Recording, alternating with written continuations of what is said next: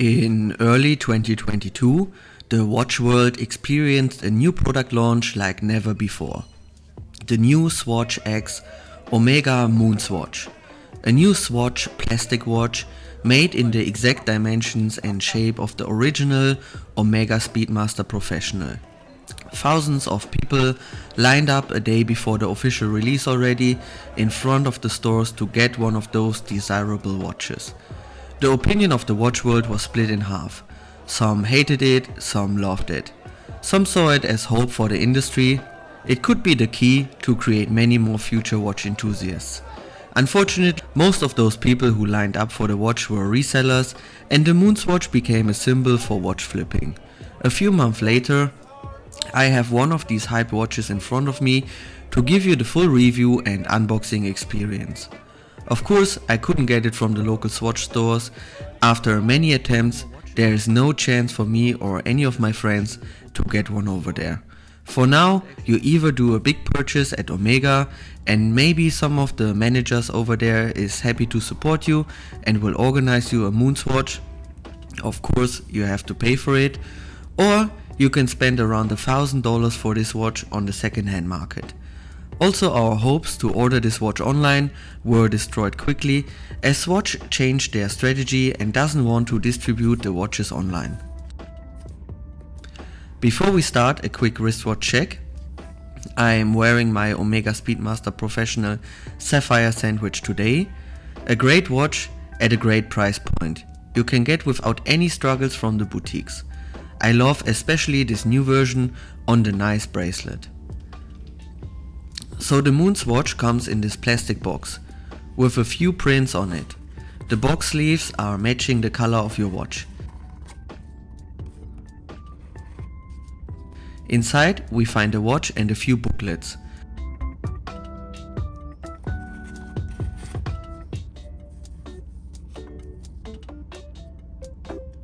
The first one contains a quick overview of the different Moonswatch models and some data about the planets they represent.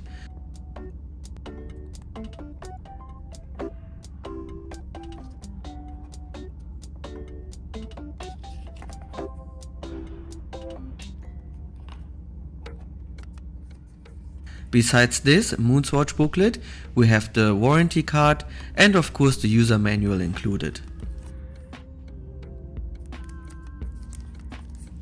The packaging overall feels very cheap and below a G-Shock packaging for example. And here's the watch. The official retail price for these watches is 260 US dollars, but as said it is virtually impossible to get them from the Swatch store. Even after 10 attempts, I had no chance to buy one and now decided it was a waste of time going there. So I got one from the secondhand market where it trades now at around 1400 US dollars here in Dubai. The Moonswatch is fully made of plastic or so-called bioceramic, which anyway feels like plastic. The strap is a white velcro strap and on top of the watch we have a plastic crystal. The version I got is the Mission to Uranus that comes in this light blue or nowadays called Tiffany color. Due to the color, I think this version is one of the most hyped ones.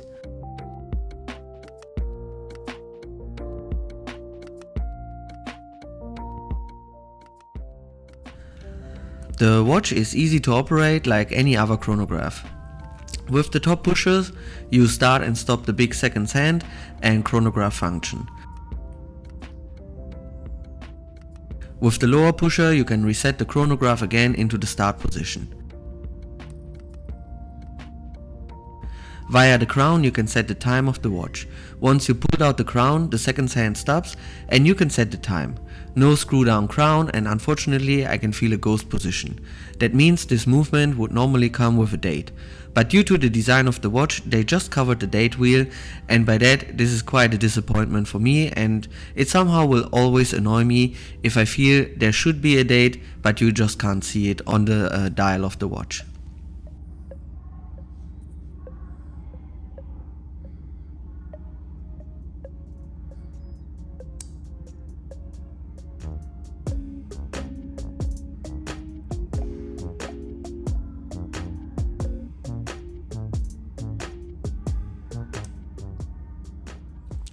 Let's have a look at the watch dimensions. The diameter is 42 millimeters, the thickness of the watch is 13.3 millimeters, and the lug to lug length is 47 millimeters. The weight of the watch is 31 grams.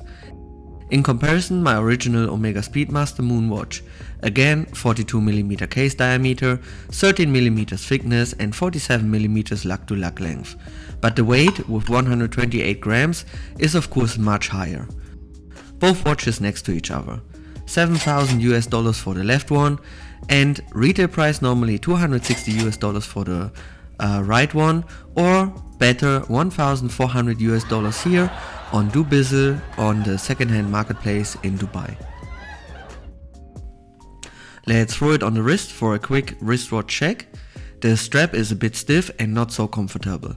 I could imagine your skin will start to sweat underneath during warm weather.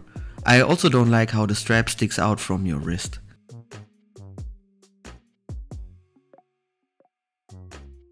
The movement inside the watch is a quartz movement, which looks like this. Mass production and probably used in hundreds of other quartz watches. A battery you have to change every two years, which will always create wastage and is probably not so sustainable. The back of the watch is covered with a plastic case and the battery slot features a sticker showing the planet Uranus. The water resistance is 30 meters, so basically no water resistance at all. On the dial we have a running seconds hand at 6 o'clock, a minutes counter at 9 o'clock and a hours counter at 10 o'clock. With this watch you can stop 10 hours max. The bezel features a tachymeter scale to measure different things like production rates or average speed. The scale on the bezel feels like a sticker on the watch. Overall is the feeling of the watch very cheap and disappointing after so much hype. Considering this watch would be readily available, I guess it would be better positioned at around 120 to 140 US dollars and not the recommended 260 US dollars. But with the current second-hand market prices, no one can complain of course, as you could basically sell this watch immediately for a big profit. Time for a loom shot.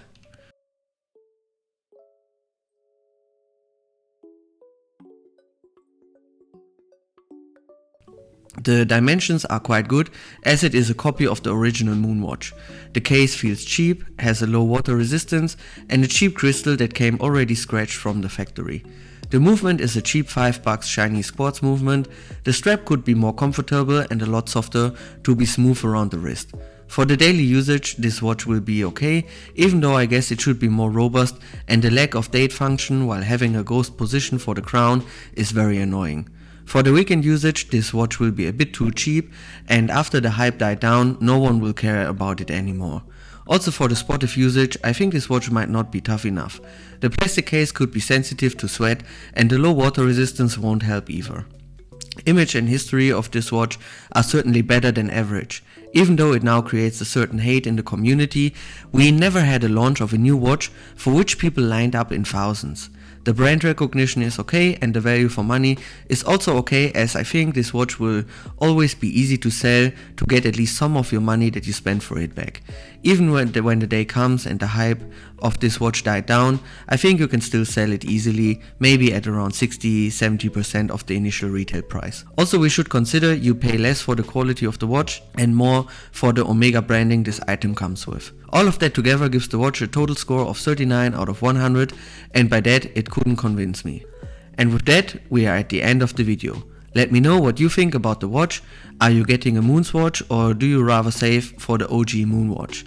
Let me know your thoughts in the comments and see you in the next one. Bye bye.